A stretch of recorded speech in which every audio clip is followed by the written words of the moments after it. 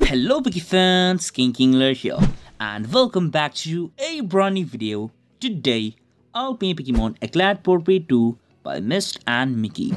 It's a completed Pokemon GBA ROM hack and it recently got a new update and it has been translated into English by A-Star Gaming and its story is as follows.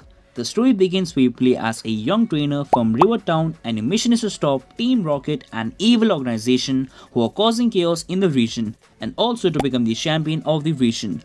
Will you be able to do it? Let's find out. Now, some of the features of this game are Mega Evolution, new story and new region, 3 levels of difficulty, increased shiny rate, good graphics, Pokemon from Gen 1 to 7 and much more. So before starting the video, make sure to smash the like and subscribe button. And so now, let's play!